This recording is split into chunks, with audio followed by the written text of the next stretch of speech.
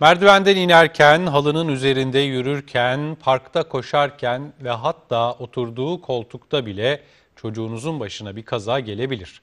Peki bu tür kazalarda ilk müdahale nasıl olmalı? Anne babalar nelere dikkat etmeli? İşte yanıtlar. Evsel travmalar, evde gelişen küçük çaplı travmalar boyutuna bakılmaksızın ciddi bir şekilde önemli değerlendirilmeli. Her çocuk gün içinde defalarca ev kazası atlatıyor. Peki ilk müdahale nasıl olmalı?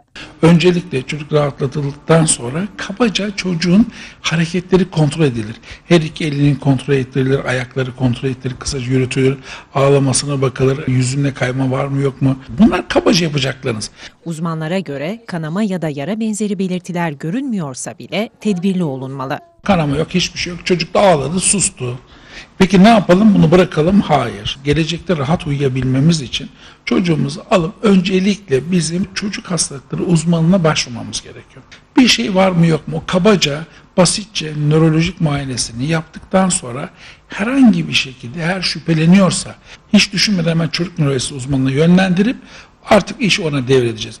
Peki travma vakalarında doğru tanı için uygulanan yöntemler çocuklar için riskli mi?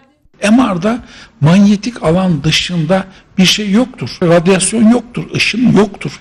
Dolayısıyla en güvenilir bilinen yöntemlerden biridir MR çekmek. EEG'nin asla olamaz.